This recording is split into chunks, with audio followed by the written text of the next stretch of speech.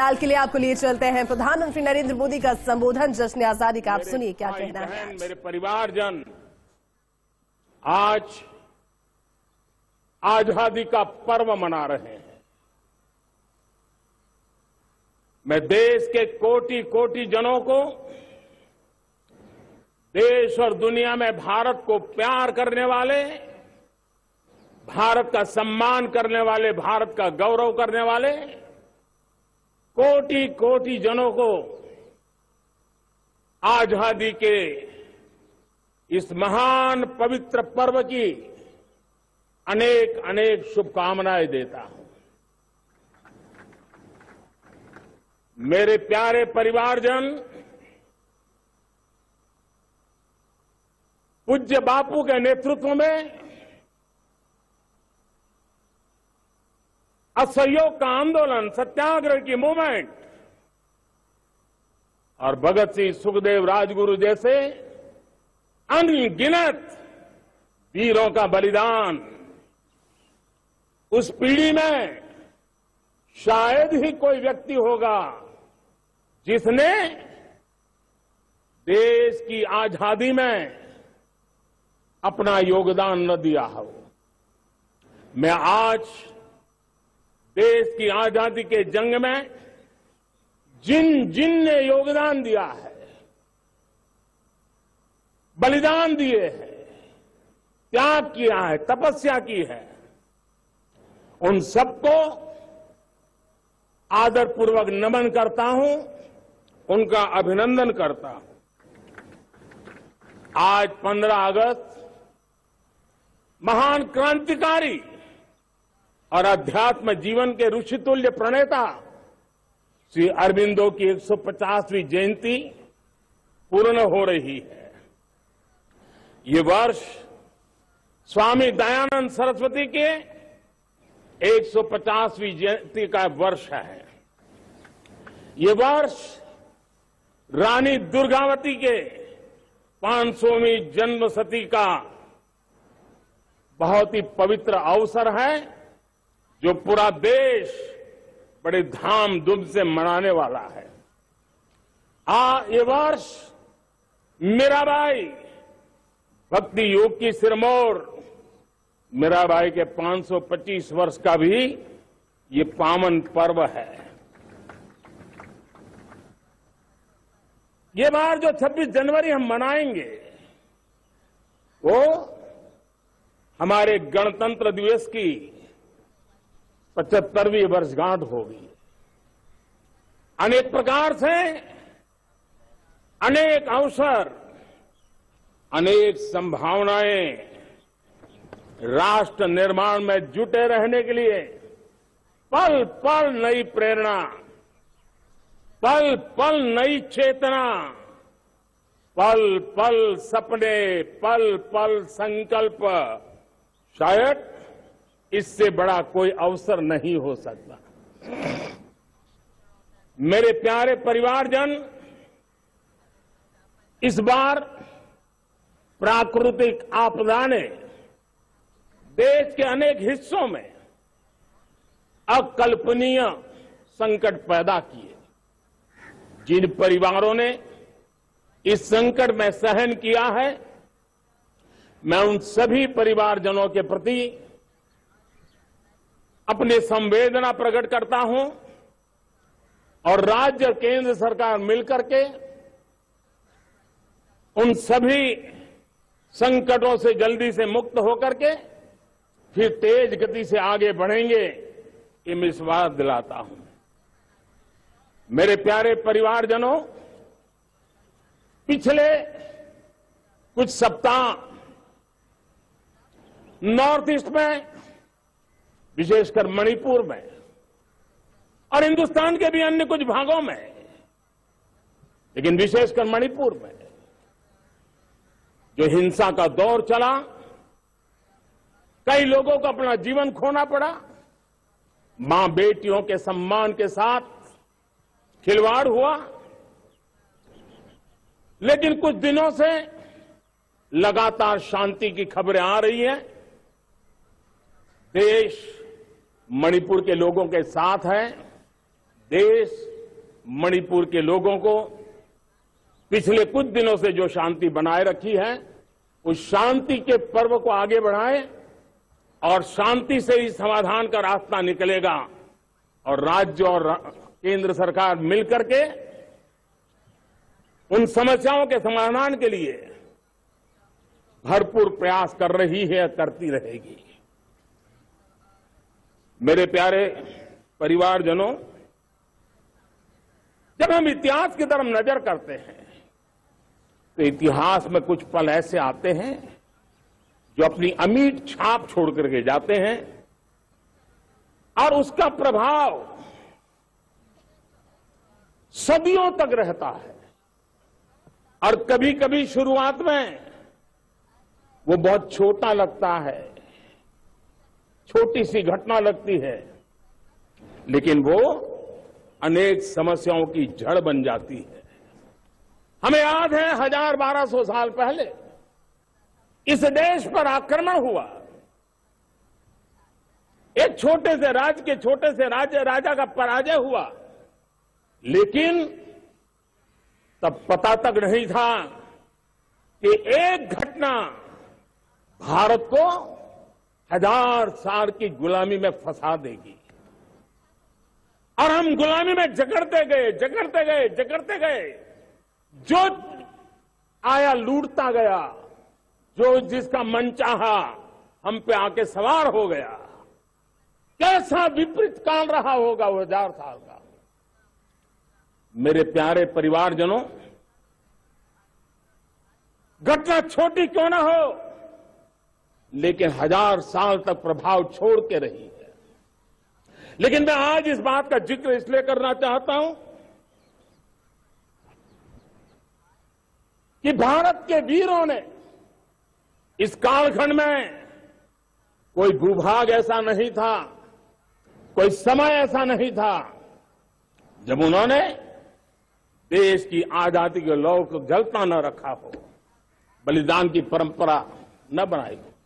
माँ भारती बेड़ियों से मुक्त होने के लिए उठ खड़ी हुई थी, जंजीरों को जगजोर रही थी, और देश की नारी शक्ति, देश की युवा शक्ति, देश के किसान, देश के गाँव के लोग, मजदूर, कोई हिंदुस्तानी ऐसा नहीं था जो आज़ादी के सपने को लेकर के जीता न हो। आज़ादी को पाने के लिए मर मिटने के लिए तैयार होने वालों की एक बड़ी फौज तैयार हो गई थी। जेलों में जवानी खपाने वाले अनेक महापुरुष हमारे देश की आज़ादी को, जन, इन गुलामी की बेड़ियों को तोड़ने के लिए लगे हुए थे। मेरे प्यारे प्रिय परिवारजनों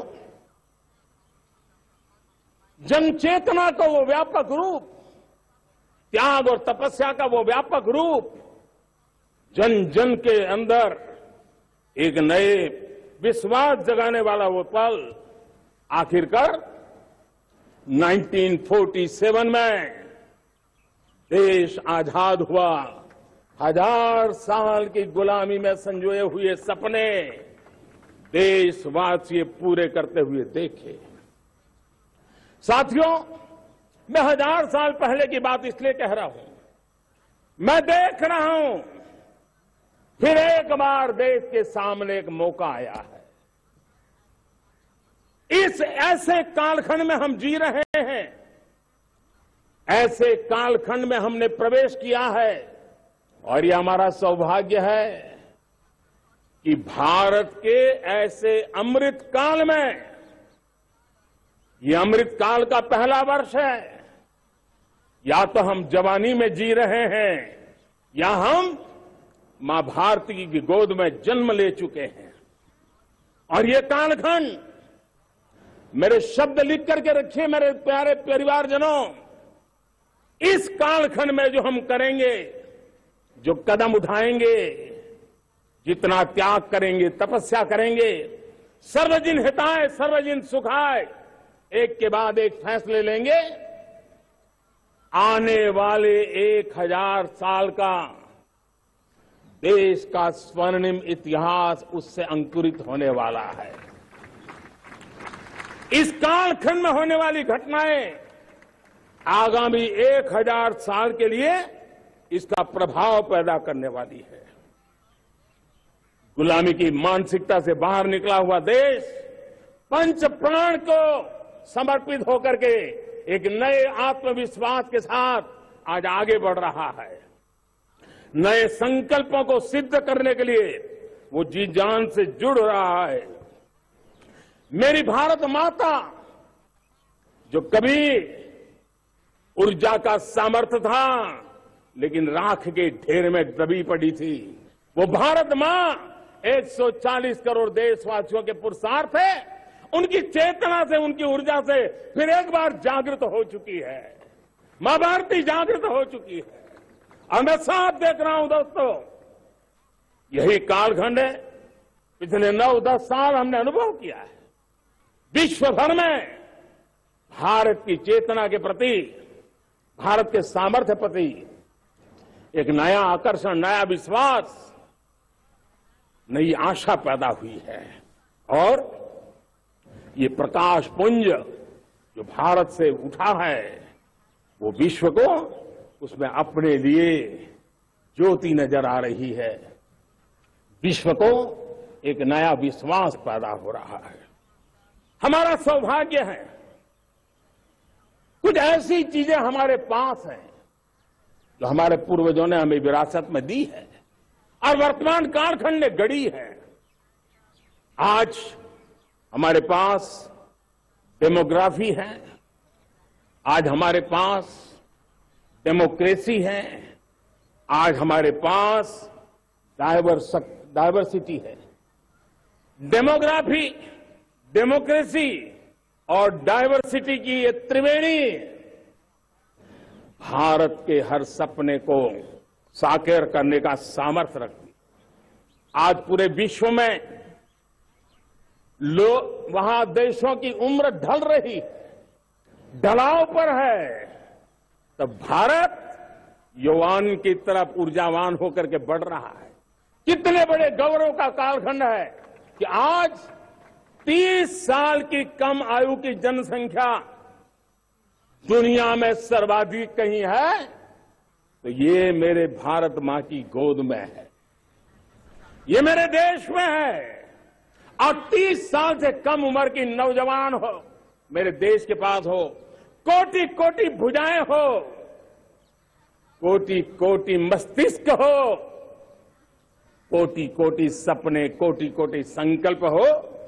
तो भाइयों, बहनों, मेरे प्रिय परिवारजनों, हम इच्छित परिणाम प्राप्त करके रह सकते हैं। मेरे प्यारे परिवारजनों, देश का भाग्य ऐसी घटनाएँ बदल देती है। ये सामर्थ्य देश के भाग्य को बदल देता है। भारत एक हज़ार साल की गुलामी और आने वाले एक हज़ार साल के भव्य भारत के बीच में पड़ाव पर हम खड़े हैं। एक ऐसी संधि पर खड़े हैं और इसलिए अब हमें न रुकना है, न दुविधा में जीना है। मेरे प्यारे प्रिय परिवारजनों, हमें खोई हुई उस विरासत का गर्व करते हुए, खोई हुई समृद्धि को प्राप्त करते हुए, हमें फिर एक बार और ये बात मान के चले, हम जो भी करेंगे, हम जो भी कदम उठाएँगे, हम जो भी फैसला लेंगे, वो अगले एक हज़ार साल तक अपनी दिशा निर्धारित करने वाला है। भारत के भाग्य को लिखने वाला है। मैं आज मेरे देश के नौजवानों को, मेरे देश की बेटे बेटियों को ये ज़रूर कहना चाहूँगा, जो सौभाग्य आज मेरे युवाओं को मिला है। ऐसा सौभाग्य शायद ही किसी के नसीब होता है जो आपके नसीब हुआ है। और इसलिए हमें ये गंवाना नहीं है। युवा शक्ति पर मेरा भरोसा है। युवा शक्ति में सामर्थ्य है। और हमारी नीतियाँ, हमारी रीतियाँ भी उस युवा सामर्थ्य को और बल देने के लिए है। आज मेरे युवाओं ने दुनिया में पहले तीन स्टार्टअप इकोसिस्टम में भारत को स्थान दिला दिया है। विश्व के युवाओं को अचंबा हो रहा है।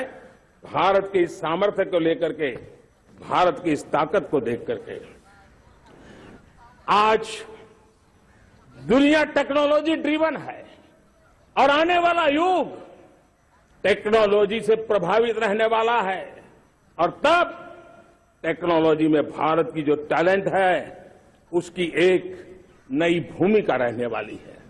साथियों, मैं पिछले दिनों जी ट्वेंटी समिट में बाली गया था। और बाली में दुनिया के समृद्ध समृद्ध देश, दुनिया के विकसित देश भी उनके मुखिया मुझे भारत की डिजिटल इंडिया की सफलता के लिए, बारीकियों से जानने के लिए इच्छुक थे। हर कोई इसका सवाल पूछता था।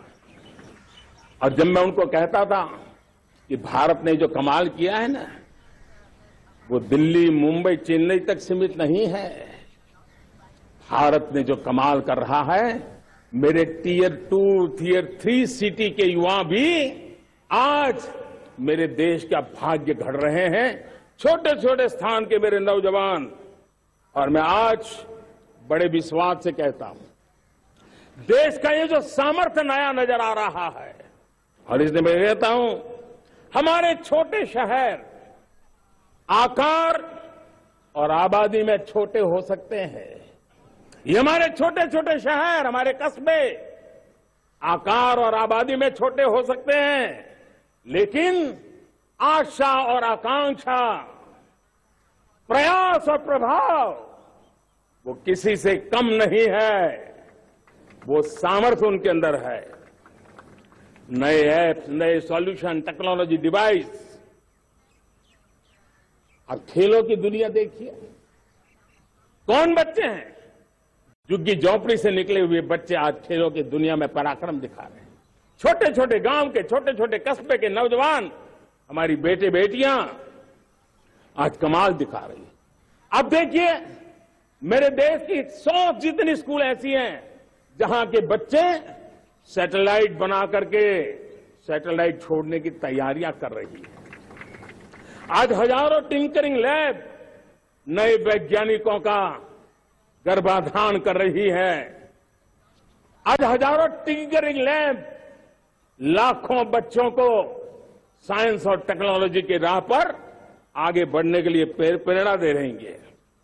मैं मेरे देश के नौजवानों को कहना चाहता हूँ, अवसरों की कमी नहीं है।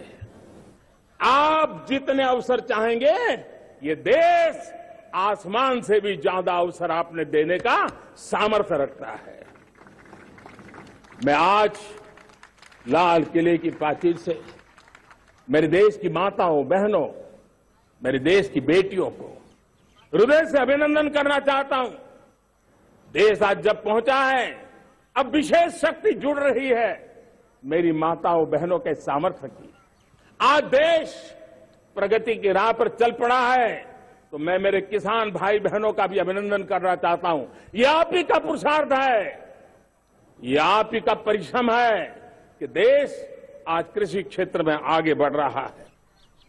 मैं मेरे मजदूरों का, मेरे श्रमिकों का, मेरे प्रिय परिवारजन, ऐसे कोटि कोटि श्रमिकों को आज मैं नमन करता हूँ, उनका अभिनंदन कर रहा हूँ। देश आज जो आधुनिकता की ओर बढ़ रहा है, विश्व की तुलना करने वाले सामर्थ्य के साथ नज़र आ रहा है, उसके पीछे मेरे देश के मजदूरों का, मेरे देश के श्रमिकों का बहुत बड़ा योगदान है। आज समय कहता है कि लाल किले की प्राचीर से मैं उनका अभिनंदन करूँ, उनका अभिवादन करूँ। और ये मेरे परिवारजन 140 करोड़ देशवासी, मेरे इन श्रमिकों का रेहड़ी पटरी वालों का, फूल सब्ज़ी बेचने वालों का हम सम्मान करते हैं। मेरे देश को आगे बढ़ाने में, मेरे देश को प्रगति की नई ऊंचाई पर ले जाने में प्रोफेशनल्स की बहुत बड़ी भूमिका है, बढ़ती रही है। चाहे साइंटिस्ट हो चाहे इंजीनियर्स हो, डॉक्टर्स हो, नर्सिस हो, शिक्षक हो, आचार्य हो, यूनिवर्सिटीज हो, गुरुकुल हो, हर कोई माँ भारती भारती का भविष्य उज्जवल बनाने के लिए अपनी पूरी ताकत से लगा हुआ है। मेरे प्यारे परिवारजनों, राष्ट्रीय चेतना वो एक ऐसा शब्द है जो हमें चिंताओं से मुक्त कर रहा है। और आज वो राष्ट्रीय चेतना ये सिद्ध कर रही है कि भारत का सबसे बड़ा सामर्थ्य बना है भरोसा। भारत का सबसे बड़ा बना सामर्थ्य बना है विश्वास। जन जन में हमारा विश्वास, जन जन का सरकार पर विश्वास। जन जन का देश के उज्जवल भविष्य पर विश्वास और विश्व का भी भारत के प्रति विश्वास। ये विश्वास हमारी नीतियों का है, हमारी रीति का है। भारत के उज्जवल भविष्य को जिस निर्धारित मज़बूत कदमों से हम आगे बढ़ा रहे उसका है। भाइयों बहनों, मेरे प्यारे परिवारजनों, ये बात निश्चित है कि भारत का सामर्थ्य और भारत की संभावनाएँ विश्वास की नई बुलंदियों को पार करने वाली है। और ये विश्वास की नई बुलंदियाँ नए सामर्थ्यों को लेकर के चलनी चाह रही है। आज देश में जी ट्वेंटी समिट के मेहमान नवाजी का भारत को अवसर मिला है। अब पिछले एक साल से हिंदुस्तान के हर कोने में जिस प्रकार से जी ट्वेंटी के अनेक ऐसे आयोजन हुए, अनेक कार्यक्रम हुए हैं, उसने देश के सामान्य मानवीय के सामर्थ्य को विश्व को परिचित करा दिया है। भारत की विविधता का परिचय कराया है। भारत की डायवर्सिटी को दुनिया अचंबे से देख रही है और उसके कारण भारत के तरफ़ आकर्षण बढ़ा है। भारत को जानने की, समझने की इच्छा देगी उसी प्रकार से।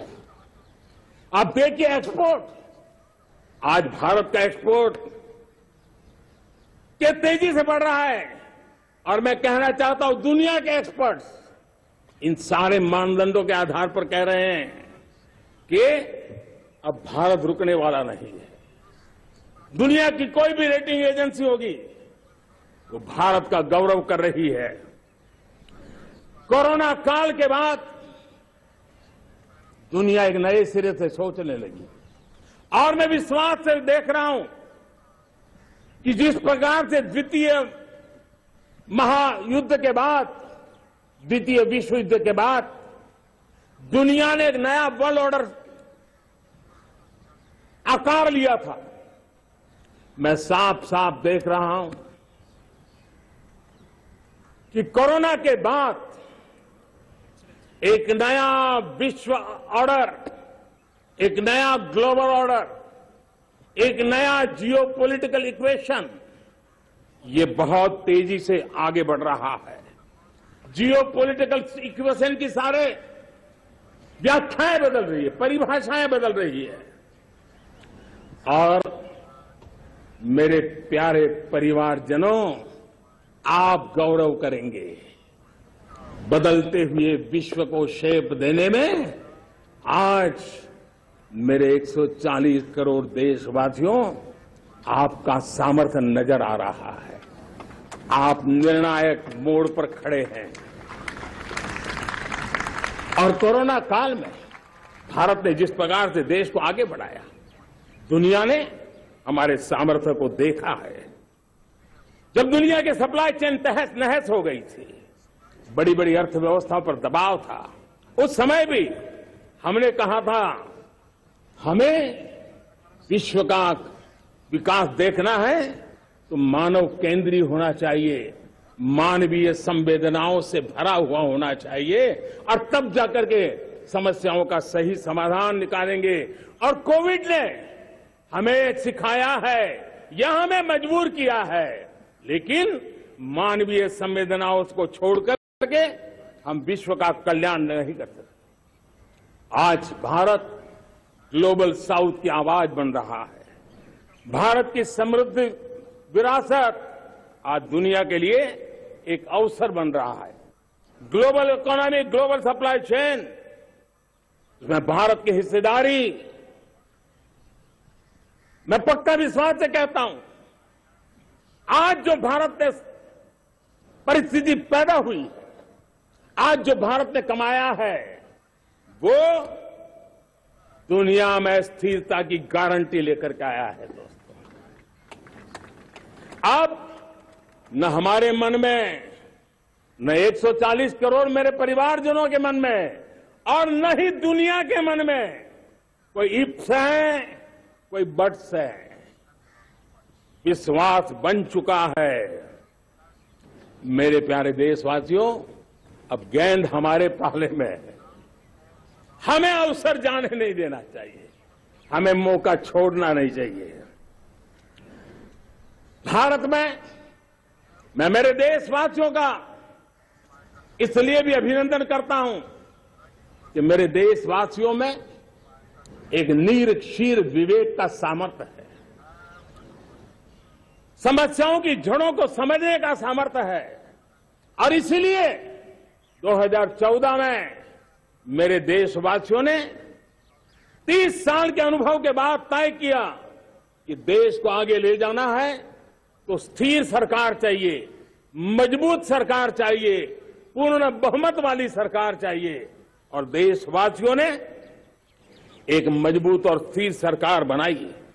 और तीन दशकों के जो अनिश्चितता का कालखंड था, जो अस्थिरता का कालखंड था जो राजनीतिक मजबूरियों से देश जकड़ा हुआ था, उससे मुक्ति बनी है। मेरे प्यारे परिवारजनों, देश के पास आज एक ऐसी सरकार है, वो सर्वजन हिताय, सर्वजन सुखाय,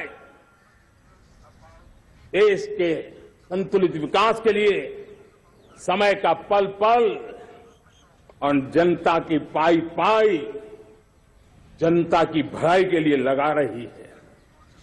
और मेरी दे, मेरी सरकार, मेरे देशवासियों का मन एक बात से जुड़ा हुआ है। हमारे हर निर्णय, हमारे हर दिशा, उसका एक ही मानदंड है, नेशन फ़र्स्ट राष्ट्र प्रथम और राष्ट्र प्रथम यही दुर्गामी परिणाम, सकारात्मक परिणाम पैदा करने वाला है। देश में बड़े स्तर पर काम हो रहा है। और लेकिन मैं कहना चाहूँगा 2014 में आपने एक मज़बूत सरकार बनाई। और मैं कहता हूँ 2014 में और 2019 में आपने एक सरकार फॉर्म की तो मोदी में रिफॉर्म करने की हिम्मत आई। आपने ऐसी सरकार फॉर्म की कि मोदी को रिफॉर्म की हिम्मत आई। और जब मोदी ने एक के बाद एक रिफॉर्म किए तो मेरे ब्यूरोक्रेसी के लोग, मेरे लाखों हाथ पैर, जो हिंदुस्तान के कोने कोने में सरकार के हिस्से के रूप में काम कर रहे हैं, उन्होंने ब्यूरोक्रेसी ने ट्रांसफॉर्म करने के लिए परफॉर्म करने की जिम्मेवारी बखूबी निभाई। और उन्होंने परफॉर्म करके दिखाया। और जनता जनार्दन जुड़ गई। तो वो ट्रांसफॉर्म होता भी नज़र आ रहा है। और इसलिए रिफॉर्म परफॉर्म ट्रांसफॉर्म ये कालखंड अब भारत के भविष्य को गढ़ गढ़ रहा है। और हमारी सोच देश की उस ताकतों को बढ़ावा देने पर है, जो आने वाले एक हज़ार साल की नींव को मज़बूत करने वाले दुनिया को युवा शक्ति की ज़रूरत है, युवा स्किल की ज़रूरत है। हमने अलग स्किल मिनिस्ट्री बनाई, वो भारत की आवश्यकताओं को तो पूरी करेगी, वो दुनिया की आवश्यकताओं को पूरी करने का भी सामर्थ्य रखेगी। हमने जल जल शक्ति मंत्रालय बनाया। मंत्रालय की बनाने की रचना को भी अगर कोई एनालिसिस करेगा ना तो इस सरकार के मन मस्तिष्क को बड़े अच्छे ढंग से आप समझ पाएँगे। हमने जल शक्ति मंत्रालय बनाया। ये जल शक्ति मंत्रालय हमारा, हमारे देश के एक एक देशवासियों को पीने का शुद्ध पानी पहुँचे। पर्यावरण की रक्षा के लिए पानी के प्रति संवेदनशील व्यवस्थाएँ विकसित हो, उस पर हम बल रहे हैं। हमारे देश में कोरोना के बाद दुनिया देख रही है। होलिस्टिक हेल्थ केयर, ये समय की मांग है। हमने अलग आयुष मंत्रालय बनाया। और योग और आयुष आज दुनिया में अपना परचम लहरा रहे हैं। हमने दुनिया को हमारे कमिटमेंट के कारण विश्व का हमारे प्रति ध्यान गया है। अगर हम ही हमारे इस सामर्थ्य को नकार देंगे तो फिर दुनिया कैसे स्वीकार करेगी?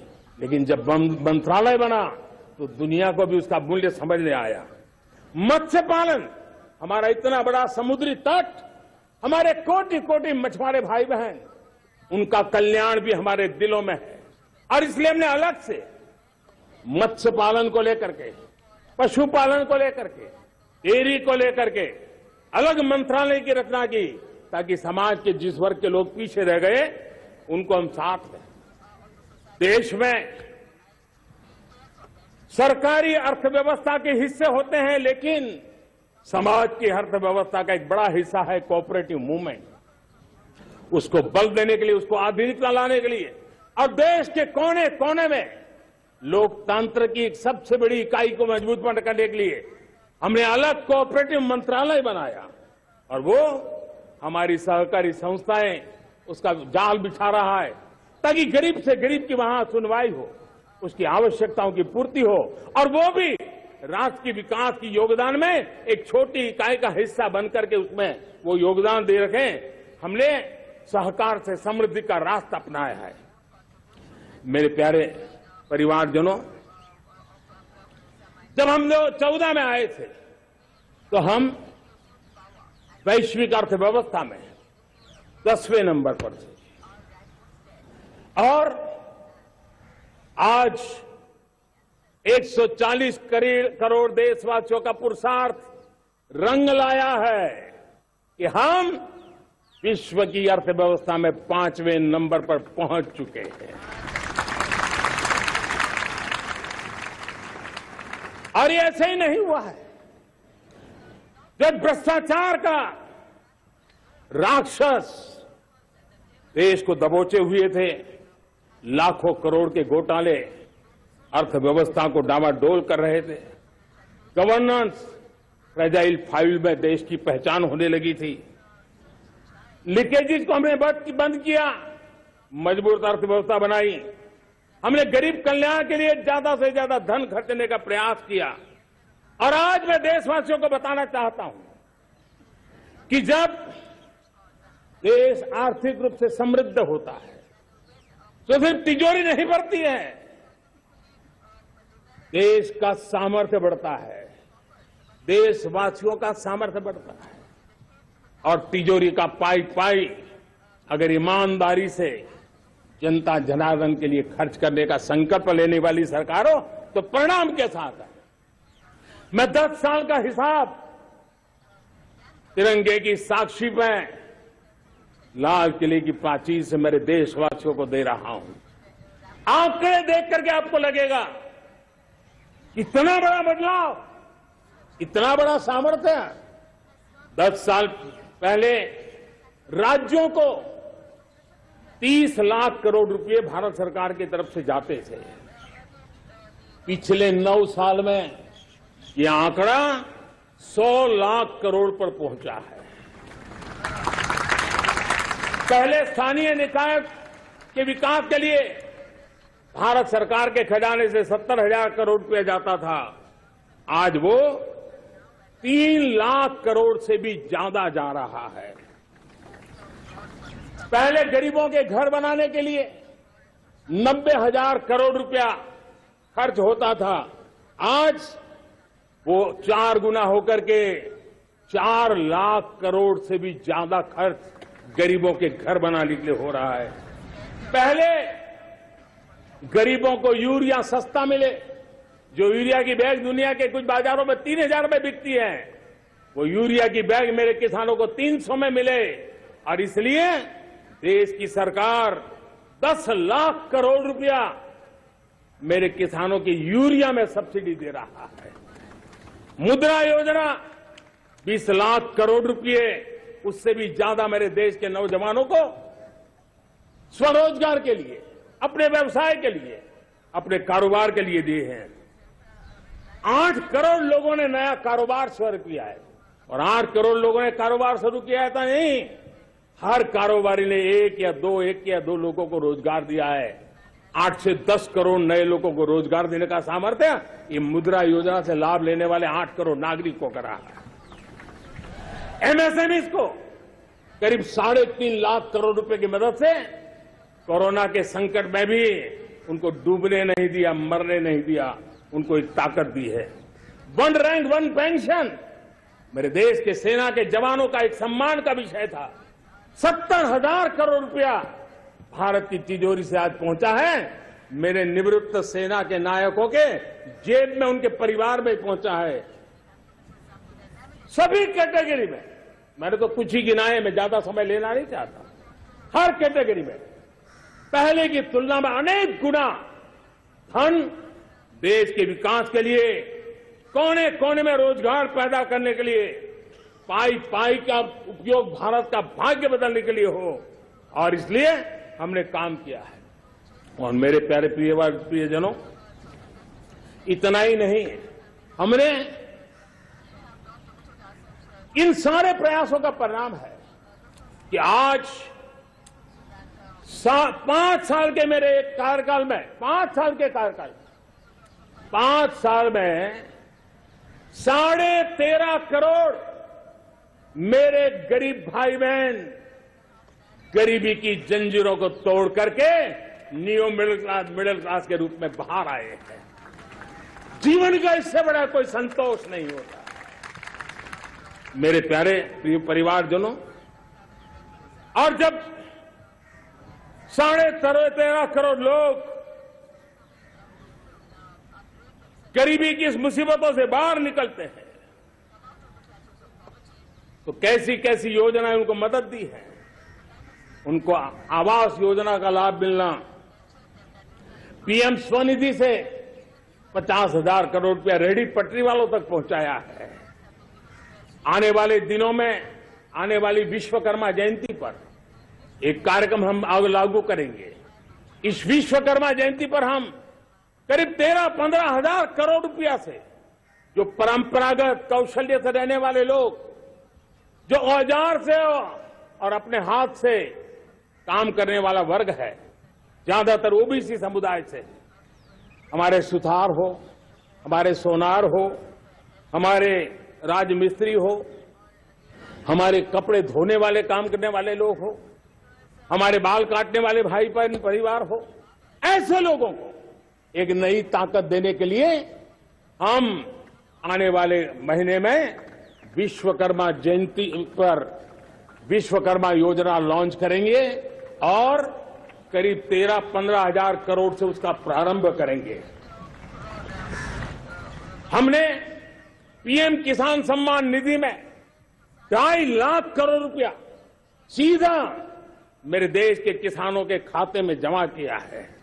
हमने जल जीवन मिशन हर घर में शुद्ध पानी पहुँचे। दो लाख करोड़ रुपया खर्च किया है। हमने आयुष्मान भारत योजना ताकि गरीब को बीमारी के कारण अस्पताल जाने से जो मुसीबत होती थी उसको मुक्ति दिलाना। उसको दवाई मिले, उसका उपचार हो, ऑपरेशन हो, अच्छे से अच्छी हॉस्पिटल में हो। आयुष्मान भारत योजना के तहत सत्तर हज़ार करोड़ रुपए हमने लगाए हैं। पशुधन, देश ने कोरोना वैक्सीन की बात तो देश को याद है। चालीस हज़ार करोड़ रुपए लगाए, वो तो याद है। लेकिन आपको जानकर के खुशी होगी, हमने पशुधन को बचाने के लिए करीब करीब पंद्रह हज़ार करोड़ रुपया पशुधन के टीकाकरण के लिए लगाया है। मेरे प्यारे देशवासियों, मेरे प्यारे परिवारजनों जन औषधि केंद्रों ने देश के सीनियर सिटीजन्स को देश के मध्यम वर्गीय परिवार को एक नई ताकत दी है। करके हम विश्व का कल्याण नहीं कर सकते। आज भारत ग्लोबल साउथ की आवाज़ बन रहा है। भारत की समृद्ध विरासत आज दुनिया के लिए एक अवसर बन रहा है। Global economy, global supply chain, उसमें भारत की हिस्सेदारी। मैं पक्का विश्वास से कहता हूँ आज जो भारत ने परिस्थिति पैदा हुई आज जो भारत ने कमाया है, वो दुनिया में स्थिरता की गारंटी लेकर के आया है, दोस्तों। अब न हमारे मन में, न 140 करोड़ मेरे परिवारजनों के मन में, और न ही दुनिया के मन में कोई इप्स है, कोई बट्स है। विश्वास बन चुका है। मेरे प्यारे देशवासियों, अब गेंद हमारे पाले में है। हमें अवसर जाने नहीं देना चाहिए। हमें मौका छोड़ना नहीं चाहिए। भारत में, मैं मेरे देशवासियों का इसलिए भी अभिनंदन करता हूँ कि मेरे देशवासियों में एक नीर क्षीर विवेक का सामर्थ्य है। समस्याओं की जड़ों को समझने का सामर्थ्य है। और इसीलिए 2014 में मेरे देशवासियों ने 30 साल के अनुभव के बाद तय किया कि देश को आगे ले जाना है तो स्थिर सरकार चाहिए, मज़बूत सरकार चाहिए, पूर्ण बहुमत वाली सरकार चाहिए। और देशवासियों ने एक मज़बूत और स्थिर सरकार बनाई। और तीन दशकों के जो अनिश्चितता का कालखंड था, जो अस्थिरता का कालखंड था, जो राजनीतिक मजबूरियों से देश जकड़ा हुआ था, उससे मुक्ति बनी है। मेरे प्यारे परिवारजनों, देश के पास आज एक ऐसी सरकार है, वो सर्वजन हिताय, सर्वजन सुखाय, देश के संतुलित विकास के लिए समय का पल पल और जनता की पाई पाई जनता की भलाई के लिए लगा रही है।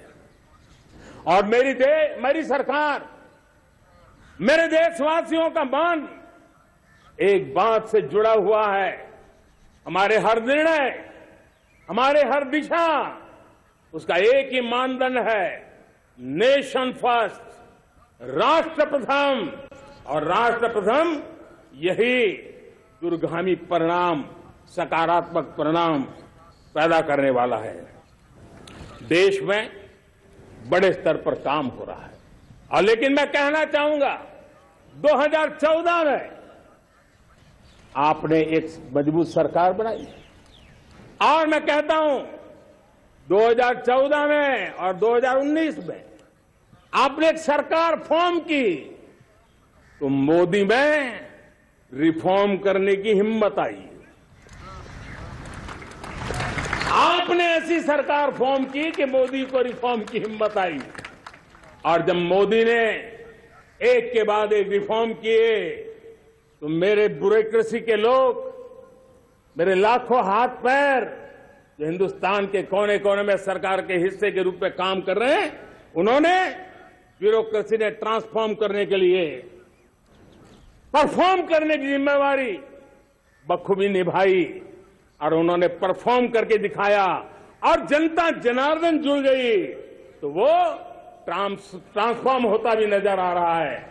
और इसलिए रिफॉर्म, परफॉर्म, ट्रांसफॉर्म, ये कालखंड अब भारत के भविष्य को गढ़ गढ़ रहा है। और हमारी सोच देश की उस ताकतों को बढ़ावा देने पर है। जो आने वाले एक हज़ार साल की नींव को मज़बूत करने वाले दुनिया को युवा शक्ति की ज़रूरत है, युवा स्किल की ज़रूरत है। हमने अलग स्किल मिनिस्ट्री बनाई, वो भारत की आवश्यकताओं को तो पूरी करेगी, वो दुनिया की आवश्यकताओं को पूरी करने का भी सामर्थ्य रखेगी। हमने जल जल शक्ति मंत्रालय बनाया। मंत्रालय की बनाने की रचना को भी अगर कोई एनालिसिस करेगा ना तो इस सरकार के मन मस्तिष्क को बड़े अच्छे ढंग से आप समझ पाएँगे। हमने जल शक्ति मंत्रालय बनाया। ये जल शक्ति मंत्रालय हमारा, हमारे देश के एक एक देशवासियों को पीने का शुद्ध पानी पहुँचे। पर्यावरण की रक्षा के लिए पानी के प्रति संवेदनशील व्यवस्थाएँ विकसित हो, उस पर हम बल रहे हैं। हमारे देश में कोरोना के बाद दुनिया देख रही है। होलिस्टिक हेल्थ केयर, ये समय की मांग है। हमने अलग आयुष मंत्रालय बनाया और योग और आयुष आज दुनिया में अपना परचम लहरा रहे हैं। हमने दुनिया को हमारे कमिटमेंट के कारण विश्व का हमारे प्रति ध्यान गया है। अगर हम ही हमारे इस सामर्थ्य को नकार देंगे तो फिर दुनिया कैसे स्वीकार करेगी? लेकिन जब मंत्रालय बना तो दुनिया को भी उसका मूल्य समझने आया। मत्स्य पालन। हमारा इतना बड़ा समुद्री तट, हमारे कोटि कोटि मछुआरे भाई बहन उनका कल्याण भी हमारे दिलों में है। और इसलिए हमने अलग से मत्स्य पालन को लेकर के, पशुपालन को लेकर के, डेयरी को लेकर के अलग मंत्रालय की रचना की, ताकि समाज के जिस वर्ग के लोग पीछे रह गए, उनको हम साथ लें देश में सरकारी अर्थव्यवस्था के हिस्से होते हैं, लेकिन समाज की अर्थव्यवस्था का एक बड़ा हिस्सा है कोऑपरेटिव मूवमेंट उसको बल देने के लिए, उसको आधुनिकता लाने के लिए। और देश के कोने कोने में लोकतंत्र की सबसे बड़ी इकाई को मज़बूत करने के लिए हमने अलग कोऑपरेटिव मंत्रालय बनाया। और वो हमारी सहकारी संस्थाएँ, उसका जाल बिछा रहा है, ताकि गरीब से गरीब की वहाँ सुनवाई हो। उसकी आवश्यकताओं की पूर्ति हो और वो भी राष्ट्र के विकास की योगदान में एक छोटी इकाई का हिस्सा बनकर के उसमें वो योगदान दे रखें। हमने सहकार से समृद्धि का रास्ता अपनाया है। मेरे प्यारे परिवारजनों, जब हम लोग चौदह में आए थे तो हम वैश्विक अर्थव्यवस्था में दसवें नंबर पर थे। और आज 140 करोड़ देशवासियों का पुरुषार्थ रंग लाया है कि हम विश्व की अर्थव्यवस्था में पाँचवें नंबर पर पहुँच चुके हैं।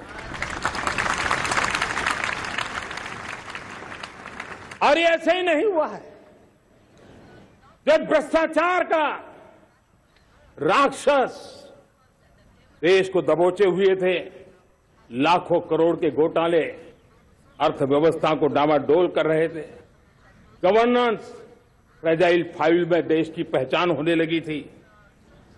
लीकेजेस को हमने बंद किया। मज़बूत अर्थव्यवस्था बनाई। हमने गरीब कल्याण के लिए ज़्यादा से ज़्यादा धन खर्चने का प्रयास किया। और आज मैं देशवासियों को बताना चाहता हूँ कि जब देश आर्थिक रूप से समृद्ध होता है तो सिर्फ़ तिजोरी नहीं बढ़ती है। देश का सामर्थ्य बढ़ता है। देशवासियों का सामर्थ्य बढ़ता है। और तिजोरी का पाई पाई अगर ईमानदारी से जनता जनार्दन के लिए खर्च करने का संकल्प लेने वाली सरकार तो परिणाम के साथ है।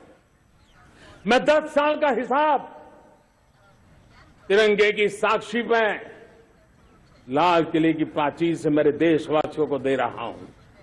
आंकड़े देख करके आपको लगेगा, इतना बड़ा बदलाव, इतना बड़ा सामर्थ्य दस साल पहले राज्यों को 30 लाख करोड़ रुपए भारत सरकार की तरफ़ से जाते थे।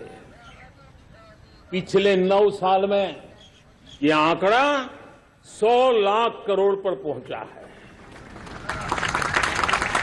पहले स्थानीय निकाय के विकास के लिए भारत सरकार के खजाने से सत्तर हज़ार करोड़ रुपया जाता था। आज वो तीन लाख करोड़ से भी ज़्यादा जा रहा है। पहले गरीबों के घर बनाने के लिए नब्बे हज़ार करोड़ रुपया खर्च होता था। आज वो चार गुना होकर के चार लाख करोड़ से भी ज़्यादा खर्च गरीबों के घर बनाने के लिए हो रहा है। पहले गरीबों को यूरिया सस्ता मिले। जो यूरिया की बैग दुनिया के कुछ बाजारों में तीन हज़ार में बिकती है, वो यूरिया की बैग मेरे किसानों को तीन सौ में मिले। और इसलिए देश की सरकार दस लाख करोड़ रुपया मेरे किसानों की यूरिया में सब्सिडी दे रहा है। मुद्रा योजना 20 लाख करोड़ रुपए उससे भी ज़्यादा मेरे देश के नौजवानों को स्वरोजगार के लिए, अपने व्यवसाय के लिए, अपने कारोबार के लिए दिए हैं। आठ करोड़ लोगों ने नया कारोबार शुरू किया है। और आठ करोड़ लोगों ने कारोबार शुरू किया है तो नहीं, हर कारोबारी ने एक या दो, एक या दो लोगों को रोज़गार दिया है। आठ से दस करोड़ नए लोगों को रोज़गार देने का सामर्थ्य, ये मुद्रा योजना से लाभ लेने वाले आठ करोड़ नागरिक को करा है। एमएसएमई को करीब साढ़े तीन लाख करोड़ रुपए की मदद से कोरोना के संकट में भी उनको डूबने नहीं दिया, मरने नहीं दिया, उनको एक ताकत दी है। One rank, one pension. मेरे देश के सेना के जवानों का एक सम्मान का विषय था। सत्तर हज़ार करोड़ रुपया भारत की तिजोरी से आज पहुँचा है। मेरे निवृत्त सेना के नायकों के जेब में उनके परिवार में पहुँचा है। सभी कैटेगरी में। मैंने तो कुछ ही गिनाए, मैं ज़्यादा समय लेना नहीं चाहता। हर कैटेगरी में। पहले की तुलना में अनेक गुना धन देश के विकास के लिए कोने कोने में रोज़गार पैदा करने के लिए पाई पाई का उपयोग भारत का भाग्य बदलने के लिए हो। और इसलिए हमने काम किया है। और मेरे प्यारे प्रिय प्रियजनों इतना ही नहीं। हमने इन सारे प्रयासों का परिणाम है कि आज सा, पाँच साल के मेरे कार्यकाल में पाँच साल के कार्यकाल में पाँच साल में साढ़े तेरह करोड़ मेरे गरीब भाई बहन गरीबी की जंजीरों को तोड़ करके new middle class middle class के रूप में बाहर आए हैं। जीवन का इससे बड़ा कोई संतोष नहीं होता। मेरे प्यारे परिवारजनों, और जब साढ़े तेरह करोड़ लोग गरीबी की इस मुसीबतों से बाहर निकलते हैं तो कैसी कैसी योजनाएँ उनको मदद दी है? उनको आवास योजना का लाभ मिलना, पीएम स्वनिधि से पचास हज़ार करोड़ रुपया रेहड़ी पटरी वालों तक पहुँचाया है। आने वाले दिनों में, आने वाली विश्वकर्मा जयंती पर एक कार्यक्रम हम लागू करेंगे। इस विश्वकर्मा जयंती पर हम करीब तेरह पंद्रह हज़ार करोड़ रुपया से जो परंपरागत कौशल्य से रहने वाले लोग, जो औज़ार से और अपने हाथ से काम करने वाला वर्ग है, ज़्यादातर ओबीसी समुदाय से, हमारे सुथार हो, हमारे सोनार हो, हमारे राजमिस्त्री हो, हमारे कपड़े धोने वाले, काम करने वाले लोग हो, हमारे बाल काटने वाले भाई बहन, परिवार हो, ऐसे लोगों को एक नई ताकत देने के लिए हम आने वाले महीने में विश्वकर्मा जयंती पर विश्वकर्मा योजना लॉन्च करेंगे और करीब तेरह पंद्रह हज़ार करोड़ से उसका प्रारंभ करेंगे। हमने पीएम किसान सम्मान निधि में ढाई लाख करोड़ रुपया सीधा मेरे देश के किसानों के खाते में जमा किया है। हमने जल जीवन मिशन हर घर में शुद्ध पानी पहुँचे, दो लाख करोड़ रुपया खर्च किया है। हमने आयुष्मान भारत योजना ताकि गरीब को बीमारी के कारण अस्पताल जाने से जो मुसीबत होती थी उसको मुक्ति दिलाना, उसको दवाई मिले उसका उपचार हो ऑपरेशन हो, अच्छे से अच्छी हॉस्पिटल में हो। आयुष्मान भारत योजना के तहत सत्तर हज़ार करोड़ रुपए हमने लगाए हैं। पशुधन! देश ने कोरोना वैक्सीन की बात तो देश को याद है। चालीस हज़ार करोड़ रुपए लगाए, वो तो याद है। लेकिन आपको जानकर के खुशी होगी, हमने पशुधन को बचाने के लिए करीब करीब पंद्रह हज़ार करोड़ रुपया पशुधन के टीकाकरण के लिए लगाया है। मेरे प्यारे देशवासियों, मेरे प्यारे परिवारजनों जन औषधि केंद्रों ने देश के सीनियर सिटीजन्स को, देश के मध्यम वर्गीय परिवार को एक नई ताकत दी है। जिस संयुक्त परिवार में अगर किसी को एक डायबिटीज़ जैसा हो जाए दो तीन हज़ार रुपया दवाई का बिल स्वाभाविक हो जाता है। हमने जन औषधि केंद्र से जो दवाई बाज़ार में सौ रुपए में मिलती है वो दस रुपया पंद्रह रुपया बीस रुपए में दी। और आज देश में एक हज़ार जन, जन, जन औषधि केंद्रों से मेरे इन बीमारी में जिनको दवाई की ज़रूरत थी ऐसे लोगों के करीब बीस हज़ार करोड़ रुपया उनके जेब में बचा है। और ये ज़्यादातर मध्यम वर्ग के परिवार के लोग हैं। लेकिन आज उसकी सफलता को देखते हुए मैं देशवासियों को कहना चाहता हूँ जैसे हम एक विश्वकर्मा योजना लेकर के समाज के उस वर्ग को छूने वाले हैं, अब देश में दस हज़ार जन औषधि केंद्र से हम पच्चीस हज़ार जन औषधि केंद्र का लक्ष्य लेकर के आने वाले दिनों में काम करने वाले हैं। मेरे प्यारे परिवारजनों, जब देश में गरीबी कम होती है तो देश की मध्यम वर्ग की ताकत बहुत बढ़ती है। और अगर दुनिया में और मैं आपको विश्वास दिलाता हूँ, आने वाले पाँच साल में मोदी का गारंटी है। देश पहले तीन वैश्विक इकोनॉमी में अपना जगह ले लेगा। ये पक्का जगह ले लेगा। आज जो साढ़े तेरह करोड़ गरीबी से बाहर आए हुए लोग हैं, वो एक प्रकार से मध्यम वर्ग की ताकत बन जाते हैं। जब गरीब की खरीद शक्ति बढ़ती है तो मध्यम वर्ग की व्यापार शक्ति बढ़ती है। जब गाँव की खरीद शक्ति बढ़ती है, तब कस्बे और शहर की आर्थिक व्यवस्था और तेज गति से दौड़ती है। और यही इंटरकनेक्टेड हमारा अर्थ चक्र होता है। हम उसको बल लेकर के आगे चलना चाहते हैं। मेरे प्यारे परिवारजनों शहर के अंदर जो कमज़ोर लोग रहते हैं, बिना घर को मुसीबत रहती है, मध्यम वर्ग के परिवार अपना खुद का घर का सपना देख रहे हैं। हम उसके लिए भी आने वाले कुछ सालों के लिए एक योजना लेकर के आ रहे हैं। और जिसमें ऐसे मेरे परिवारजन जो शहरों में अपना घर शहरों में रहते हैं, लेकिन किराए के मकान पर रहते हैं, झुग्गी झोपड़ी में रहते हैं चाल में रहते हैं अनऑथोराइज कॉलोनीज में रहते हैं। ऐसे मेरे परिवारजन, अगर अपना मकान बनाना चाहते हैं तो बैंक से जो लोन मिलेगा, उसके ब्याज के अंदर राहत देकर के लाखों रुपयों की मदद करने का हमने निर्णय किया है। मेरे मध्यम वर्ग के परिवार को जब दो लाख से सात लाख इनकम टैक्स की सीमा बढ़ जाती है तो सबसे बड़ा लाभ सैलरी क्लास को होता है। मेरे मध्यम वर्ग को होता है। इंटरनेट का डेटा बहुत महँगा था 2014 के पहले। आज दुनिया का सबसे सस्ता इंटरनेट का डेटा का खर्चा हो रहा है। हर परिवार के पैसे बच रहे हैं। मेरे प्यारे परिवारजनों, विश्व कोरोना के बाद अभी तक उभर नहीं पाया है। युद्ध ने फिर एक नई मुसीबत पैदा की। आज दुनिया महँगाई के संकट से जूझ रही है। पूरी दुनिया की अर्थव्यवस्था को महँगाई ने दबोच के रखा है। हम भी दुनिया से जिन सामान की ज़रूरत होती है लाते हैं तो हमें सामान तो इंपोर्ट करते हैं। हमारा दुर्भाग्य है कि हमें महँगाई भी इंपोर्ट करनी पड़ती है, क्योंकि पूरी दुनिया को महँगाई ने जकड़ के रखा है। लेकिन मेरे प्यारे परिवारजनों, भारत ने महँगाई को नियंत्रित रखने के लिए बरसक प्रयास किए पिछले कालखंड की तुलना में हमें कुछ सफलता भी मिली है।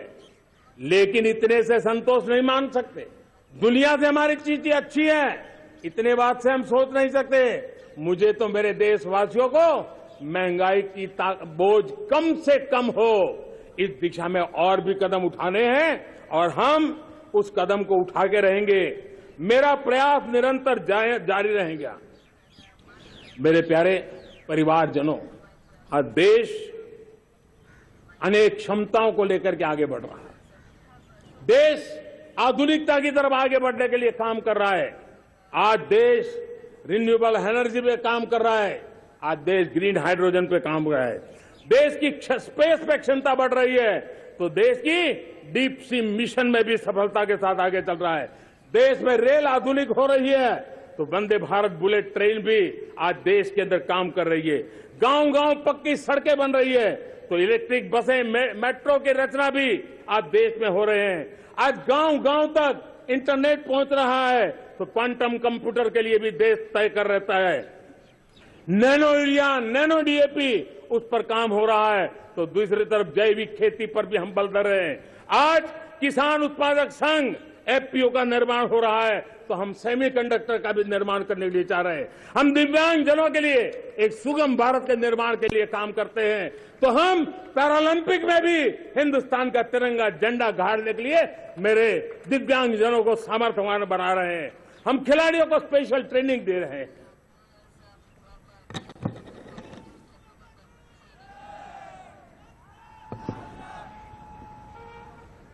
आज भारत पुरानी सोच, पुराने ढरे को छोड़ करके, लक्ष्यों को तय करके, लक्ष्यों को प्राप्त करने की दिशा से चल रहा है। और जब मैं कहता हूँ ना, कि जिसका शिलान्यास हमारी सरकार करती है, उसका उद्घाटन भी हमारे कालखंड में करते हैं। इन दिनों जो मैं शिलान्यास कर रहा हूँ ना, आप लिख के रखिए, उसके उद्घाटन भी आप सबने मेरे नसीब में ही छोड़े हुए हैं। हमारी कार्य संस्कृति, बड़ा सोचना, दूर का सोचना, सर्वजन हिताय, सर्वजन सुखाय सोचना यह हमारी कार्यशैली रही है। और सोच से भी ज़्यादा, संकल्प से भी ज़्यादा, हासिल कैसे करना, इस ऊर्जा के साथ हम काम करते हैं। हमने आज़ादी के काल अमृत महोत्सव में पचहत्तर हज़ार अमृत सरोवर बनाने का संकल्प किया था। उस समय हमने हर ज़िले में पचहत्तर अमृत सरोवर बनाना संकल्प किया था। करीब पचास पचपन हज़ार अमृत सरोवर की कल्पना की थी। लेकिन आज करीब करीब पचहत्तर हज़ार अमृत सरोवर का काम निर्माण हो रहा है। ये अपने आप में बहुत बड़ा काम हो रहा है। जनशक्ति और जल शक्ति की ताकत भारत के पर्यावरण की रक्षा में भी काम आने वाली है। अठारह हज़ार गाँवों तक बिजली पहुंचाना जनतंग बैंक खाते खोलना, बेटियों के लिए शौचालय बनाना, सारे टारगेट। समय के पहले पूरी शक्ति से पूरे करेगा। और जब भारत ठान लेता है तो उसे पूरा करके रहता है, ये हमारा ट्रैक रिकॉर्ड कहता है। 200 करोड़ वैक्सीनेशन का काम दुनिया हमें जब पूछती है 200 करोड़ सुनती है, उनकी आँखें फट जाती है। इतना बड़ा काम ये मेरे देश के आंगनवाड़ी वर्कर, हमारी आशा वर्कर, हमारी हेल्थ वर्कर, उन्होंने करके दिखा। यह मेरे देश का सामर्थ्य है। 5G को रोल आउट किया। दुनिया में सबसे तेज गति से फाइव जी रोल आउट करने वाला मेरा देश है। 700 से अधिक जिलों तक हम पहुँच चुके हैं। और अब 6G की भी तैयारी कर रहे हैं। हमने टास्क फोर्स बना दिया है। रिन्यूएबल एनर्जी हम टारगेट से पहले चले हैं। हमने रिन्यूएबल एनर्जी 2030 का जो टारगेट तय किया था 21-22 में इसको पूरा कर दिया। हमने इथेनॉल में 20 परसेंट ब्लेंडिंग की बात कही थी। वो भी हमें समय से पाँच साल पहले पूरा कर दिया। हमने 500 बिलियन डॉलर के एक्सपोर्ट की बात की थी, वो भी समय के पहले 500 बिलियन डॉलर से ज़्यादा कर दिया। हमने तय किया, जो हमारे देश में 25 साल से चर्चा हो रही थी कि देश में नई संसद बने। पार्लियामेंट का कोई सत्र ऐसा नहीं था, नई संसद के। ये मोदी है, समय के पहले नई संसद बना करके रख दिया मेरे प्यारे भाई बहनों ये काम करने वाली सरकार है। निर्धारित लक्ष्यों को पार करने वाली सरकार है। ये नया भारत है। ये आत्मविश्वास से भरा हुआ भारत है। ये संकल्पों को चरितार करने के लिए जी जान से जुटा हुआ भारत है। और इसलिए ये भारत न रुकता है, ये भारत न थकता है, ये भारत न हाँफता है और न ही ये भारत हारता है और इसलिए मेरे प्यारे परिवार परिवारजनों, आर्थिक शक्ति बढ़ी है तो हमारी सामरिक शक्ति को भी एक नई ताकत मिली है। हमारी सीमाएँ पहले से अधिक सुरक्षित हुई है। और मेरे सीमा पर बैठे हुए मेरे जवान, जो देश की सीमाओं की रक्षा कर रहे हैं और मेरे देश की आंतरिक सुरक्षा के संभालने वाले यूनिफॉर्म फोर्सेज मैं आज़ादी के इस पावन पर्व पर उनको भी अनेक अनेक बधाई देते हुए मेरी बात को आगे बढ़ाता हूँ। सेना का अधिकरण हो, हमारी सेना युवा बने, हमारी सेना बैटल के लिए रेडी, युद्ध योग्य बने, इसलिए निरंतर रिफॉर्म का काम आज हमारी सेना में हो रहा है। मेरे प्यारे परिवारजनों आए दिन हम लोग सुना करते थे यहाँ बम धमाका हुआ वहाँ बम धमाका हुआ। हर जगह पे लिखा हुआ रहता था कि इस बैग को मत छूना। अनाउंसमेंट होते रहते थे। आज देश सुरक्षा की, अनुभूति कर रहा है। और जब सुरक्षा होती है शांति होती है तो प्रगति के नए अरमान हम पूरे कर सकते हैं। उसको लिए सीरियल बम धमाके का जमाना। बीती हुई बात हो गई है। निर्दोषों के जो मौत होते थे, वो तो बीते हुए कल की बात हो गई हो आज देश में आतंकी हमलों में भारी कमी आई है। नक्सल प्रभावित क्षेत्रों में भी बहुत बड़ा बदलाव आया है। बहुत बड़ा परिवर्तन का एक वातावरण बना है। मेरे प्यारे परिवारजनों, प्रगति के हर चीज़ में लेकिन जब 2047 हम एक विकसित भारत का सपना लेकर के चल रहे हैं, तब, और वो सपना नहीं 140 करोड़ देशवासियों का संकल्प है। और उस संकल्प को सिद्ध करने के लिए परिश्रम की पराकाष्ठा भी है। और उसकी सबसे बड़ी ताकत होती है, वो राष्ट्रीय चरित्र होता है। दुनिया में जिन जिन देशों ने प्रगति की है दुनिया में जो जो देश संकटों से वो पार करके निकले हैं, उस हर के उसमें हर चीज़ के साथ साथ एक महत्वपूर्ण कैटलिक एजेंट रहा है। वो राष्ट्रीय चरित्र रहा है। और हमें राष्ट्रीय चरित्र के लिए और बल देते हुए हमें आगे बढ़ना होगा। हमारा देश, हमारा राष्ट्रीय चरित्र ओजस्वी हो, तेजस्वी हो, पुरुषार्थी हो, पराक्रमी हो, प्रखर हो। ये हम सबका सामूहिक दायित्व है। और आने वाले 25 साल हम एक ही मंत्र को लेकर चले ये हमारे राष्ट्रीय चरित्र के सिरमौर होना चाहिए। एकता का संदेश, भारत की एकता को जीना, भारत की एकता को आँच आए न ऐसी मेरी भाषा होगी, न ऐसा मेरा कोई कदम होगा। हर पल देश को जोड़ने का प्रयास मेरी तरफ़ से भी होता रहेगा। भारत की एकता हमें सामर्थ्य देती है। उत्तर हो, दक्षिण हो, पूरब हो, पश्चिम हो, गाँव हो, शहर हो, पुरुष हो, नारी हो, हम सबने एकता के भाव के साथ और विविधता भरे देश में एकता का सामर्थ्य होता है। और दूसरी महत्व की बात मैं देख रहा हूँ, अगर 2047 में हमें हमारे देश को विकसित भारत के रूप में देखना है तो हमें श्रेष्ठ भारत के मंत्र को जीना होगा, हमें चरितार्थ करना होगा। अब हमारे प्रोडक्शन में, मैंने 2014 में कहा था, ज़ीरो डिफेक्ट, ज़ीरो इफ़ेक्ट। दुनिया के किसी भी टेबल पर मेक इन इंडिया चीज़ हो तो दुनिया को विश्वास होना चाहिए, इससे बेहतर दुनिया में कुछ नहीं हो सकता है। ये अल्टीमेट होगा। हमारी हर चीज़, हमारी सर्विसेज़ होगी तो श्रेष्ठ होगी। हमारे शब्द की ताकत होगी तो श्रेष्ठ होगी। हमारी संस्थाएँ होगी तो श्रेष्ठ होगी। हमारी निर्णय प्रक्रियाएँ होगी तो श्रेष्ठ होगी। ये श्रेष्ठता का भाव लेकर के हमें चलना होगा। तीसरी बात है, देश में आगे बढ़ाने के लिए एक अतिरिक्त शक्ति का सामर्थ्य भारत को आगे ले जाने वाला है।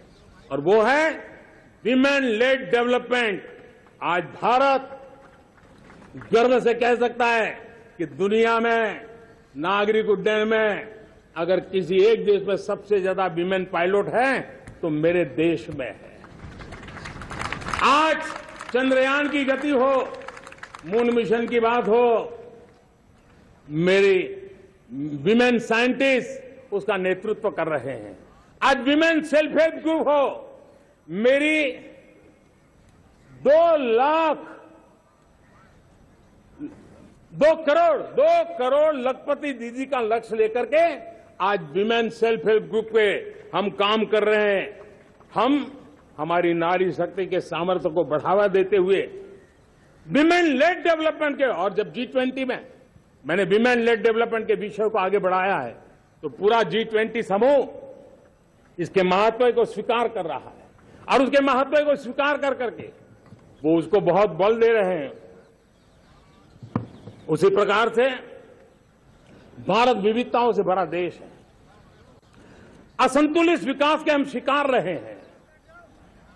मेरा पराया का कारण हमारे देश के कुछ हिस्से उसके शिकार रहे हैं।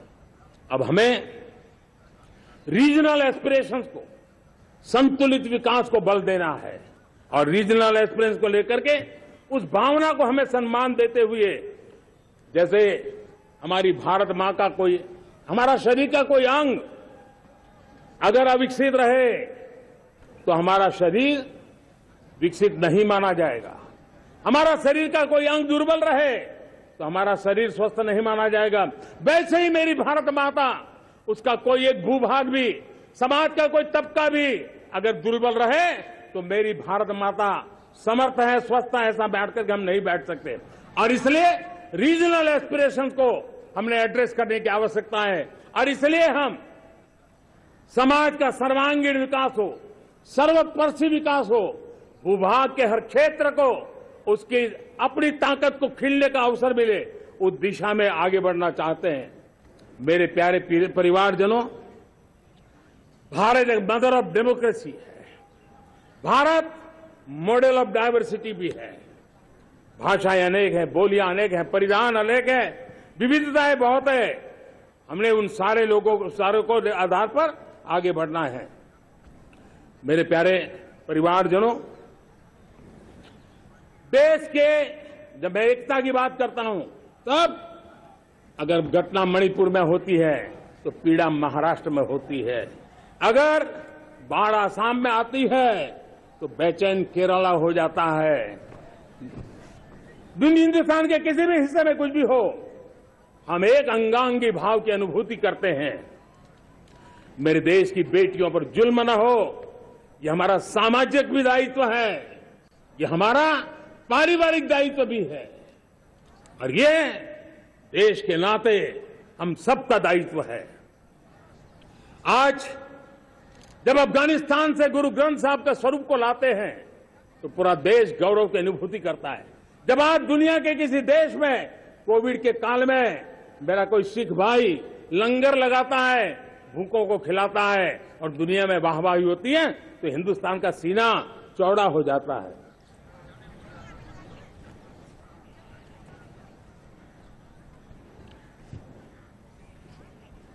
मेरे प्यारे परिवारजनों,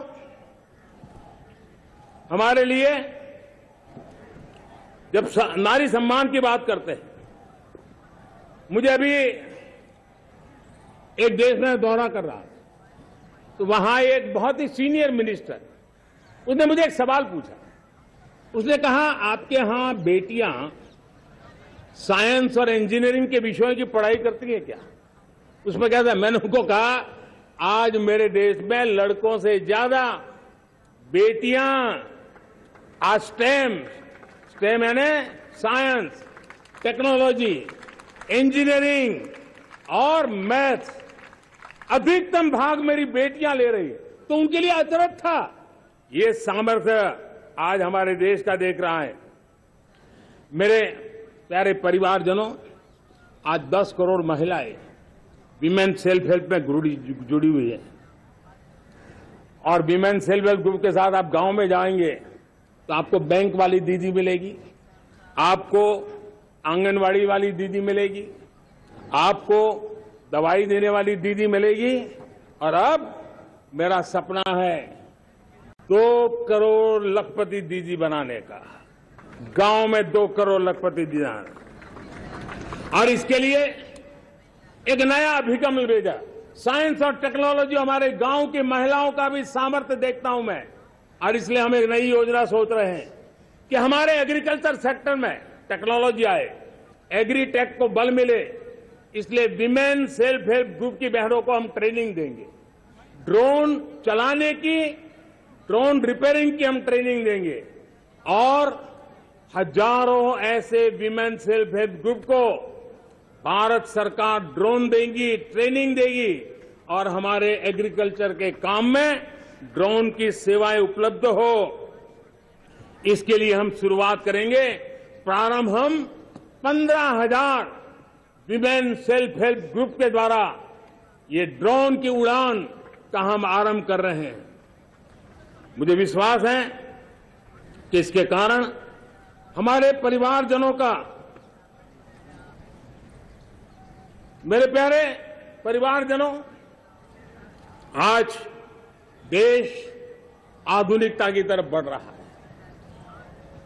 हाईवे हो रेलवे हो, एयरवे हो आईवेज हो इंफॉर्मेशन वेज वाटरवेज हो, कोई क्षेत्र ऐसा नहीं है जिस क्षेत्र को आगे बढ़ाने की दिशा में आज देश काम न करता हो। पिछले नौ वर्ष में तटीय क्षेत्रों में हमने आदिवासी क्षेत्र में हमारे पहाड़ी क्षेत्र में विकास को बहुत बढ़ दिया है। हमने पर्वतमाला, भारतमाला ऐसी योजनाओं के द्वारा समाज के उस वर्ग को हमने बल दिया है। हमने गैस की पाइपलाइन से हमारे पूर्वी भारत को जोड़ने का काम किया है। हमने अस्पतालों की संख्या बढ़ाई है। हमने डॉक्टर की सीटें बढ़ाई है ताकि हमारे बच्चे डॉक्टर बनने का सपना पूरा कर सके। हमने मातृभाषा में पढ़ाने पर बल दिया है। अब मातृभाषा में वो पढ़ाई कर सके उस दिशा में। और मैं भारत के सुप्रीम कोर्ट का भी धन्यवाद करता हूँ कि भारत की सुप्रीम कोर्ट ने कहा है कि आप जो जजमेंट देंगे, उसका जो ऑपरेटिव पार्ट होगा, वो वो जो अदालत में आया है, उसकी भाषा में उसको उपलब्ध होगा। मातृभाषा का महात्मा आज बढ़ रहा है। मेरे प्यारे भाई, परिवारजनों, आज तक हमारे देश के जो बॉर्डर विलेज हैं, हमने वाइब्रेंट बॉर्डर विलेज का एक कार्यक्रम शुरू किया है। और वाइब्रेंट बॉर्डर विलेज अब तक इसके लिए कहा जाता था, देश के आखिरी गाँव। हमने उस पूरी सोच को बदला है, वो देश का आखिरी गाँव नहीं है। सीमा पर जो नज़र आ रहा है, वो मेरे देश का पहला गाँव है। अगर सूरज उगता है पूरब में तो उस तरफ़ के गाँव में पहली सूरज की किरण आती है। अगर सूरज ढलता है तो इस तरफ़ के गाँव में आखिरी किरण उसका लाभ मिलता है। ये मेरे पहले गाँव है और मुझे खुशी है कि आज मेरे इस कार्यक्रम के विशेष मेहमान, ये जो पहले गाँव है, सीमावर्ती गाँव है, उसके 600 प्रधान आज इस लाल किले की प्राचीर के इस महत्वपूर्ण कार्यक्रम का हिस्सा बनने के लिए आए। पहली बार वो इतनी दूर तक आए हैं, नए संकल्प और सामर्थ्य के साथ जुड़ने के लिए आया है। मेरे प्यारे परिवारजनों, हमने संतुलित विकास के लिए एस्पिरेशनल डिस्ट्रिक्ट एस्पिरेशनल ब्लॉक की कल्पना की और आज उसके सुखद परिणाम मिल रहे हैं। आज राज्य के जो नॉर्मल पैरामीटर्स हैं, जो एस्पिरेशनल डिस्ट्रिक्ट कभी बहुत पीछे थे, वो आज राज्य में भी अच्छा करने लग गए हैं। और मुझे विश्वास है कि आने वाले दिनों में ये हमारे आकांक्षी ज़िले, हमारे आकांक्षी बॉल अवश्य आगे बढ़ेंगे। जैसे मैंने कहा था, भारत का चरित्र की चर्चा कर रहा था। तो मैंने पहला कहा था भारत की एकता, दूसरा कहा था भारत श्रेष्ठता की तरफ़ बल दें, तीसरा कहा था विमेन लेड डेवलपमेंट की मैंने बात कही थी। और मैं आज एक बात और कहना चाहता हूँ। कि हम, जैसे रीजनल एस्पिरेशन मैंने चौथी बात कही थी, पांचवी महत्व की बात और भारत ने उस दिशा में ध्यान और वो है, हमारा राष्ट्रीय चरित्र विश्व मंगल के लिए सोचने वाला होना चाहिए। हमें देश को इतना मज़बूत बनाना है, जो विश्व मंगल के लिए भी अपनी भूमिका अदा करे। और आज, कोरोना के बाद मैं देख रहा हूँ, जिस प्रकार के संकट की घड़ी में देश ने दुनिया की मदद की, उसका परिणाम है कि आज दुनिया में हमारा देश एक विश्व मित्र के रूप में विश्व का अतूट साथी के रूप में आज मेरे देश की पहचान बनी है। हमें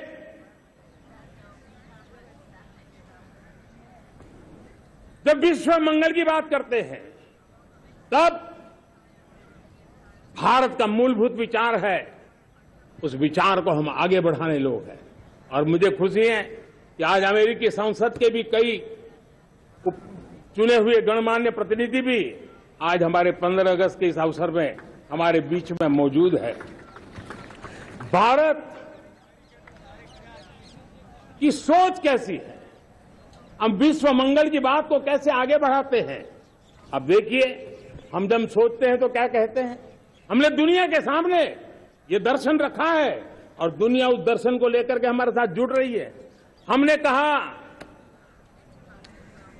one sun one world one grid renewable energy के क्षेत्र में एक बहुत बड़ा हमारा स्टेटमेंट है। आज दुनिया उसको स्वीकार कर रही है। कोविड के बाद हमने दुनिया को कहा, हमारा अप्रोच होना चाहिए। वन अर्थ वन हेल्थ समस्याओं का समाधान तभी होगा जब मानव को, पशु को, पौधे को बीमारी के संबंध में समान रूप से एड्रेस किया जाएगा, तब जाकर के हम करेंगे। हमने जी ट्वेंटी समिट के लिए दुनिया के सामने कहा है? One world one family one future इस सोच को लेकर के चल रहे हैं। हमने क्लाइमेट को लेकर के दुनिया जो संकट से जूझ रही है, हमने रास्ता दिखाया है लाइफ मिशन लॉन्च किया है। लाइफ स्टाइल फॉर एनवायरमेंट हमने दुनिया के सामने इंटरनेशनल सोलर अलायंस बनाया और आज दुनिया के कई देश इंटरनेशनल सोलर अलायंस का हिस्सा बन रहे हैं। हमने बायोडायवर्सिटी का महत्व देखते हुए बिग कैट अलायंस की व्यवस्था को हमने आगे बढ़ाया है। हमने प्राकृतिक आपदा के कारण, ग्लोबल वार्मिंग के कारण इंफ्रास्ट्रक्चर का जो नुकसान होता है, उसके लिए दुर्गामी व्यवस्थाओं की ज़रूरत है। और इसलिए coalition for disaster resilient infrastructure CDRI एक समाधान के रूप में दुनिया को दिया है। विश्व आज समुद्रों को संघर्ष का केंद्र बना रहा है। तब हमने दुनिया को सागर का प्लेटफॉर्म दिया है, जो वैश्विक समुद्री शांति की गारंटी बन सकता है। हमने पारंपरिक चिकित्सा पद्धतियों को बल देते हुए डब्ल्यूएचओ का एक ग्लोबल लेवल का सेंटर हिंदुस्तान में बनाने की दिशा में काम किया है। हमने योग और आयुष के द्वारा विश्व कल्याण और विश्व के स्वस्थता की दिशा में काम किया है। और आज भारत विश्व मंगल की मज़बूत नींव डाल रहा है। इस मज़बूत नींव को आगे बढ़ाना हम सबका काम है, हम सबकी जिम्मेवारी है। मेरे प्यारे परिवारजनों, सपने अनेक है। संकल्प साफ़ है। नीतियाँ स्पष्ट है। नियत के सामने कोई सवाल या निशान नहीं है। लेकिन कुछ सच्चाइयों को हमें स्वीकार करना पड़ेगा। और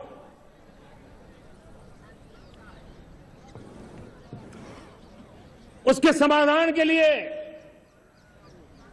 मेरे प्रिय परिवारजनों, मैं आज लाल किले से आपकी मदद मांगने आया। हूँ मैं लाल किले से आपके आशीर्वाद मांगने आया हूँ, क्योंकि पिछले सालों मैंने देश को जो समझा है, देश की आवश्यकताओं को जो मैंने परखा है, और अनुभव के आधार पर मैं कह रहा हूँ कि आज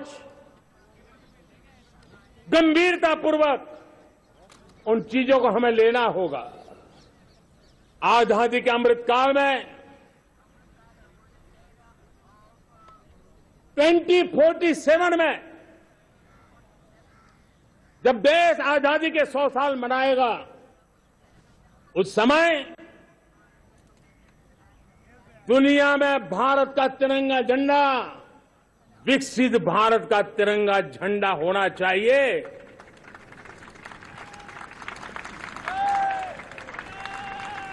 रत्ती भर भी हमें रुकना नहीं है, पीछे नहीं हटना है। और इसके लिए सुचिता पारदर्शिता और निष्पक्षता, ये पहली मजबूती की ज़रूरत है। हमें उस मजबूती को जितना ज़्यादा खाद पानी दे सकते हैं, संस्थाओं के माध्यम से देख सकते हैं। नागरिक के नाते दे सकते हैं, परिवार के नाते दे सकते हैं। ये हमारा सामूहिक दायित्व होना चाहिए। और इसलिए पिछले 75 साल का इतिहास देखिए, भारत के सामर्थ्य में कोई कमी नहीं थी। अरे जो देश, कभी सोना की चिड़िया कहा जाता था, वो देश क्यों न फिर से उस सामर्थ्य को लेकर के खड़ा हो सकता है? मेरा अटूट विश्वास है साथियों मेरे प्रिय परिवारजनों, मेरा अखंड अतुट एक निष्ठ विश्वास है कि 2047 में जब देश आज़ादी के 100 साल मनाएगा, मेरा देश विकसित भारत बन के रहेगा। और ये मैं मेरे देश के सामर्थ्य के आधार पर कह रहा हूँ। मेरे उपलब्ध संसाधनों के आधार पर कह रहा हूँ। और सबसे ज़्यादा तीस से कम आयु वाली मेरी युवा शक्ति के भरोसे कह रहा हूँ। मेरी माताओं बहनों के सामर्थ्य के भरोसे कह रहा हूँ। लेकिन उसके सामने अगर कोई रुकावट है, कुछ विकृतियाँ पिछले 75 साल में ऐसे घर कर गई है। हमारी समाज व्यवस्था का ऐसा हिस्सा बन गई है कि कभी कभी तो हम आँख भी बंद कर देते हैं। अब आँख बंद करने का समय नहीं है। अगर सपनों को सिद्ध करना है, संकल्प को पार करना है तो हमें ये आँख में चोली बंद करके, आँख में आँख मिला करके, तीन बुराइयों से लड़ना बहुत समय की मांग है। हमारे देश की सारी समस्याओं की जड़ में भ्रष्टाचार ने दिमक की तरह देश की सारी व्यवस्थाओं को, देश के समर्थ सामर्थ्य को पूरी तरह नोच लिया भ्रष्टाचार से मुक्ति, भ्रष्टाचार के खिलाफ जंग हर इकाई में, हर क्षेत्र में। और मैं देशवासियों, मेरे प्रिय परिवारजनों, ये मोदी के जीवन का कमिटमेंट है। ये मेरे अभिव्यक्त व्यक्तित्व का एक कमिटमेंट है कि मैं भ्रष्टाचार के खिलाफ लड़ाई लड़ता रहूँगा। दूसरा, हमारे देश को नोच लिया है परिवारवाद ने। इस परिवार ने परिवारवाद ने देश को जिस प्रकार से जकड़ के रखा है, उसने देश के लोगों का हक छीना है। और तीसरी बुराई तुष्टीकरण की है। ये तुष्टीकरण में भी देश के मूलभूत चिंतन को, देश के सर्व समावेशक हमारे राष्ट्रीय चरित्र को दाग लगा दिए हैं। तहस नहस कर दिया है इन लोगों ने। और इसलिए मेरे प्यारे देशवासियों, इसलिए मेरे प्यारे परिवारजनों, हमें इन तीन बुराइयों के खिलाफ पूरे सामर्थ्य के साथ लड़ना है। भ्रष्टाचार, परिवारवाद, तुष्टीकरण ये चुनौतियाँ हमारे, ये ऐसी चीज़ें पनपी है जो हमारे देश के लोगों का जो आकांक्षा है, उसका दमन करती है। हमारे देश के कुछ लोगों के पास जो छोटा मोटा सामर्थ्य है, उसका शोषण करती है। ये ऐसी चीज़ें हैं जो हमारे लोगों की आशा आकांक्षाओं को सवाल या निशान में गाड़ देती है। हमारे गरीब हो, हमारे दलित हो, हमारे पिछड़े हो, हमारे पसमानदा हो, हमारे आदिवासी भाई बहन हो, हमारी माताएँ बहनें हो, हमने सबने उनके हकों के लिए इन तीन बुराइयों से मुक्ति पानी है। हमें भ्रष्टाचार के खिलाफ एक नफरत का माहौल बनाना है। जैसे गंदगी हमें नफरत पैदा करते हैं ना मन में, गंदगी पसंद नहीं है, ये सार्वजनिक जीवन की इससे बड़ी कोई गंदगी नहीं हो सकती। और इसलिए हमारे स्वच्छता अभियान को एक नया मोड़ ये भी देना है कि हमें भ्रष्टाचार से मुक्ति पानी है। सरकार टेक्नोलॉजी से भ्रष्टाचार की मुक्ति के लिए बहुत प्रयास कर रही है।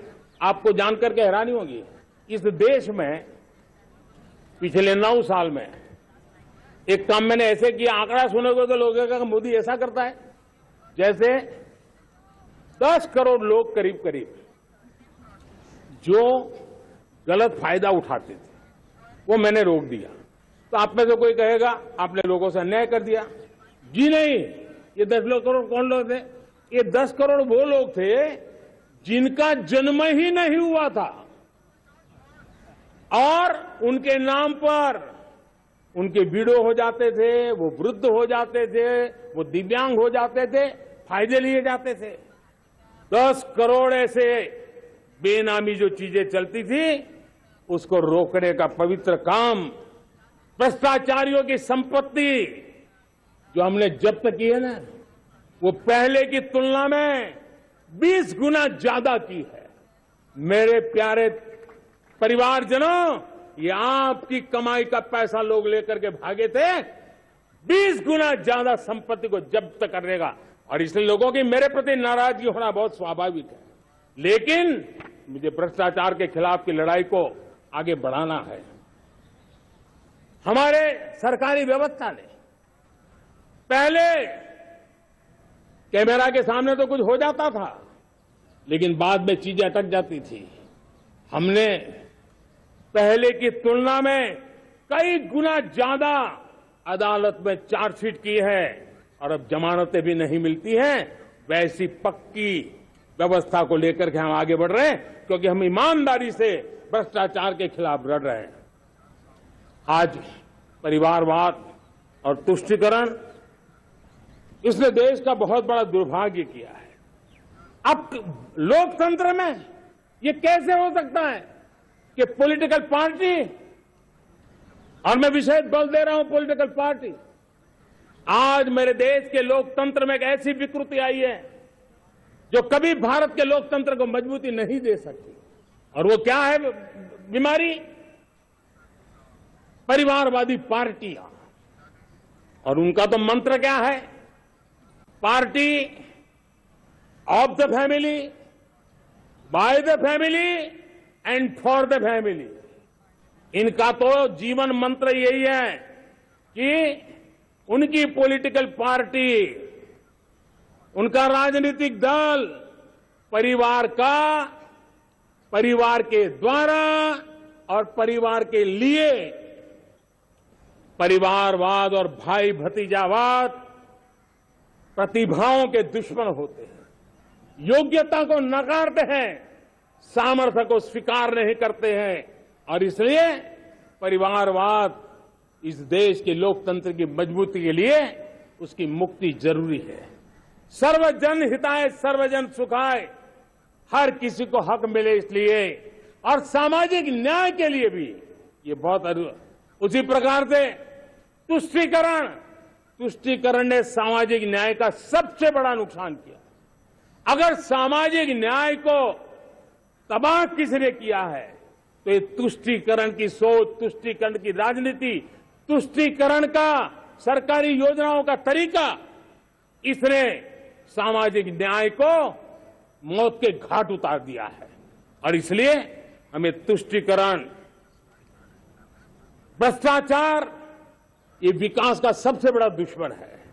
अगर देश विकास चाहता है, देश 2047 विकसित भारत का सपना का साकार करना चाहता है तो हमारे लिए आवश्यक है कि हम किसी भी हालत में देश में भ्रष्टाचार को सहन नहीं करेंगे। इस मूड को लेकर के चलना चाहिए।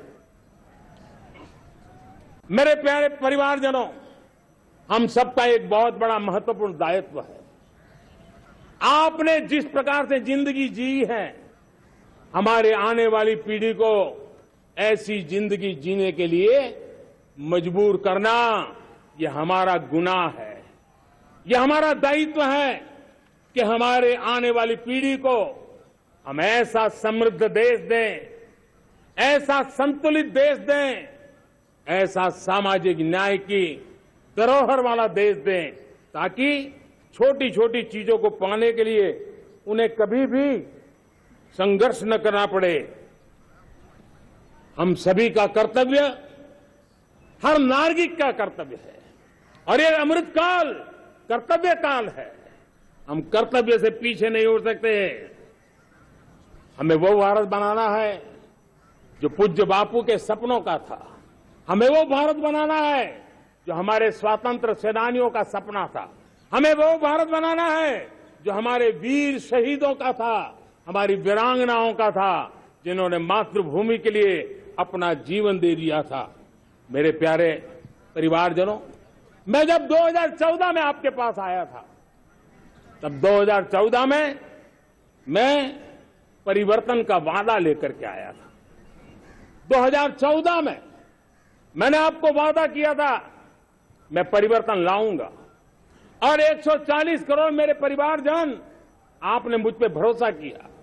और मैंने विश्वास पूरा करने की कोशिश की। रिफॉर्म परफॉर्म ट्रांसफॉर्म वो पाँच साल जो वादा था, वो विश्वास में बदल गया। क्योंकि मैंने परिवर्तन का वादा किया था रिफॉर्म परफॉर्म ट्रांसफॉर्म के द्वारा, मैंने इस वादे को विश्वास में बदल दिया। कठोर परिश्रम किया है, देश के लिए किया है, शान से किया है। सिर्फ़ और सिर्फ़ नेशन फ़र्स्ट, राष्ट्र सर्वोपरि इस भाव से किया है। 2019 में परफॉर्मेंस के आधार पर आप सबने मुझे फिर से आशीर्वाद दिया। परिवर्तन का वादा मुझे यहाँ ले आया। परफॉर्मेंस मुझे दोबारा ले आया। और आने वाले पाँच साल अभूतपूर्व विकास के हैं। 2047 के सपने को साकार करने का सबसे बड़ा स्वर्णिम पल आने वाले पाँच साल है। और अगली बार 15 अगस्त को इसी लाल किले से मैं आपको देश की उपलब्धियाँ, आपके सामर्थ्य, आपके संकल्प, उसमें हुई प्रगति, उसकी जो सफलता है, उसके गौरवगान, उससे भी अधिक आत्मविश्वास के सामने, आपके सामने मैं प्रस्तुत करूँगा। मेरे प्यारे प्रियजनों, मेरे परिवारजनों मैं आप में से आता हूँ। मैं आपके बीच से निकला हूँ। मैं आपके लिए जीता हूँ। अगर मुझे सपना भी आता है तो आपके लिए आता है। अगर मैं पसीना भी बहाता हूँ तो आपके लिए बहाता क्योंकि इसलिए नहीं कि आपने मुझे दायित्व दिया है। मैं इसलिए कर रहा हूँ कि आप मेरे परिवारजन हैं। और आपके परिवार के सदस्य के नाते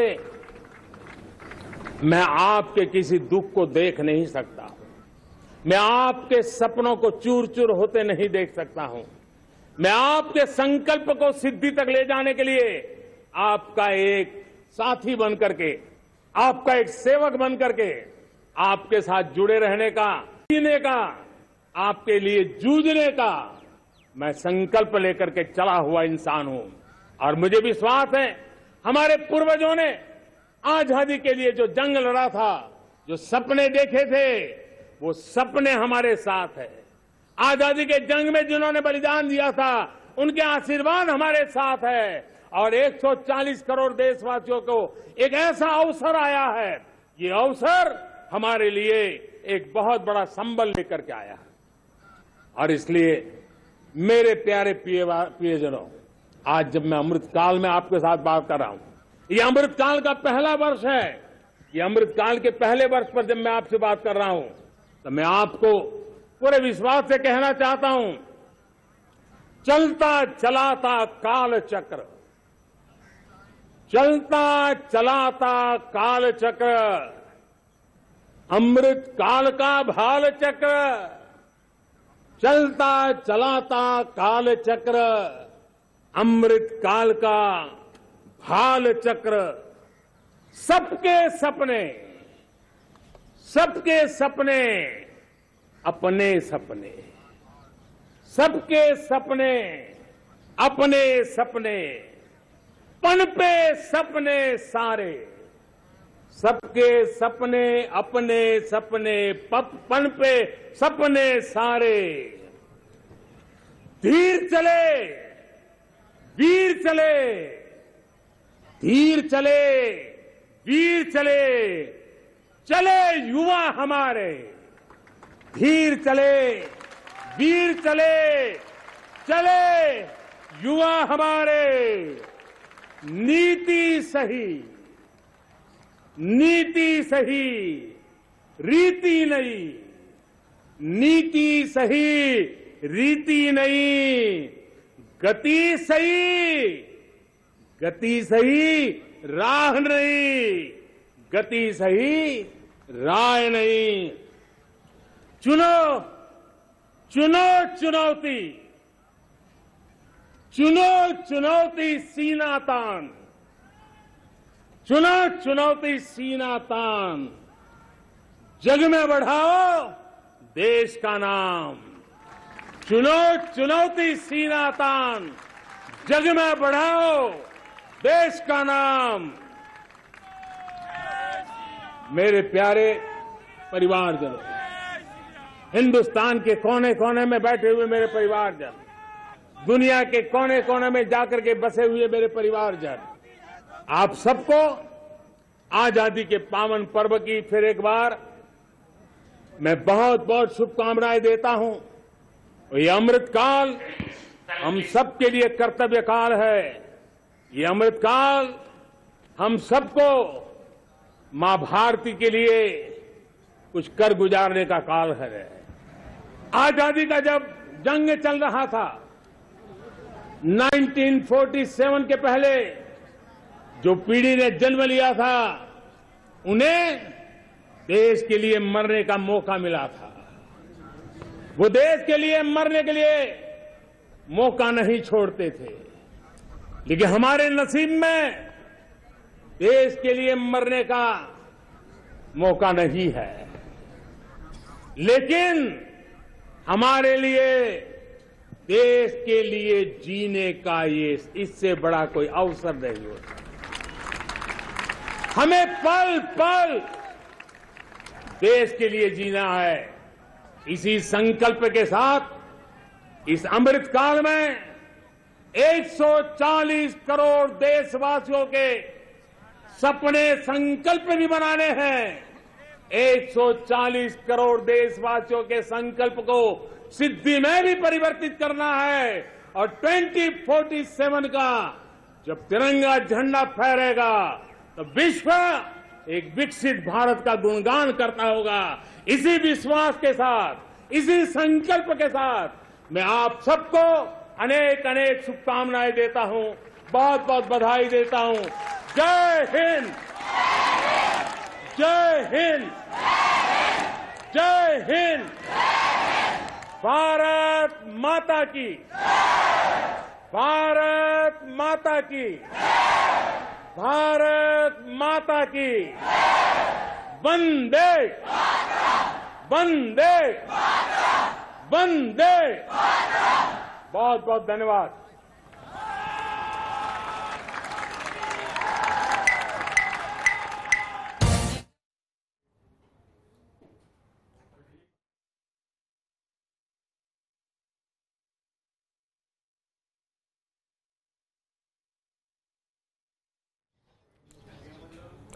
तो देखिए, लाल किले की प्राचीर से प्रधानमंत्री नरेंद्र मोदी का ये भाषण, ये संबोधन देश की जनता के नाम आप सभी सुन रहे थे। सतहत्तरवा स्वाधीनता दिवस। आप सभी को एक बार फिर से फ़र्स्ट इंडिया की ओर से जश्न आज़ादी की ढेरों ढेरों शुभकामनाएँ। प्रधानमंत्री के संबोधन के कुछ हाईलाइट्स अब आपने सुने होंगे। प्रधानमंत्री ने सभी को मेरे परिवार जन कहकर संबोधित किया और थ्रू आउट उनके संबोधन उन्होंने इसी तरह से देश की जनता को संबोधित किया। लोकतंत्र की जननी है भारत। ये बात उन्होंने कही, शुरुआत इसके साथ की और कहा कि किस तरह से विश्व गुरु बनकर भारत पूरे विश्व में नए आयाम स्थापित कर रहा है। जी ट्वेंटी का ज़िक्र किया। जी ट्वेंटी की अध्यक्षता भारत को मिली है।